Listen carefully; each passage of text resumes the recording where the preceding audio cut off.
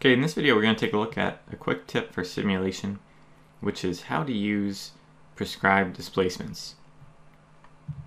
So most of the times we think of setting up an analysis in SOLIDWORKS simulation, we're talking about applying loads and figuring out what the resulting stresses are from, from those loads. However, based on your design criteria, sometimes we don't know the load up front, but we do know how far something needs to be able to deflect or how much of a displacement it needs to be able to resist. And in those situations, we can set up an analysis where rather than applying a load as our input, we'll apply a prescribed displacement. Now the simplest way to do this is right under the external loads folder in simulation, you can right click and access a prescribed displacement. Really what that does though is, is bring you over to the fixtures tab. It puts you into an advanced fixture called use reference geometry, which would allow me to select the face I want to move, such as the circular face at the end of this bracket here.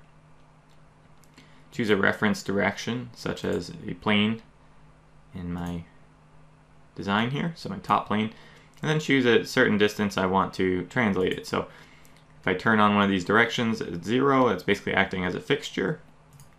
If I want to actually translate it, I can enter in a deflection, like one millimeter, and that means that it'll actually shift that end down one millimeter. I'll see the resulting stresses, and if I so desire, I'll also be able to plot out the reaction force at my fixture on the other end and see how much force was actually required to achieve that deflection. So with those settings applied, again, I already have a fixture created here on the back face. I can go ahead and run the study, and we'll see resulting stresses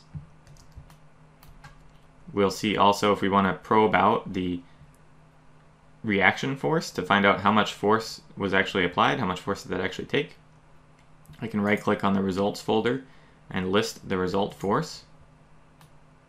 And then I just need to make the same selection as my fixture. So I can select on the back face there, choose update, and I'll see that green arrow representing my reaction force in the y direction. It's about 6 kilonewtons there's quite a lot of information we can get out of here using the prescribed displacement. One question I get from time to time is if you go to a displacement plot, why don't the displacements line up exactly? We applied one millimeter of displacement and we see here a resultant displacement of 1.06 millimeters. Well, basically when we applied that displacement, we actually enforced it only on the faces we selected. So wherever we applied that reference geometry fixture, we said, all right, that entire face is going to move one millimeter. We didn't really make specifications about elsewhere on the design, so that may end up not actually being your maximum displacement.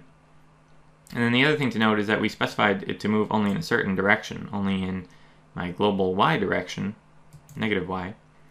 So to accurately interpret these plots, I should switch my displacement plot to also be in the y direction.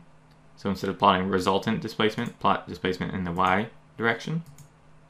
And we can see that the blue area has moved approximately negative 1. And if I want to be precise, I need to probe that particular region. So I'll go to my plot tools and probe.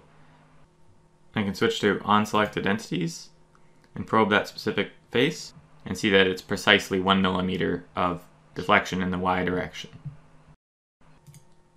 Now, this is all great if you want to apply a simple displacement in one direction, but what if I want to apply multiple displacements at once? For instance, translating a selection a certain amount and also rotating it a certain amount.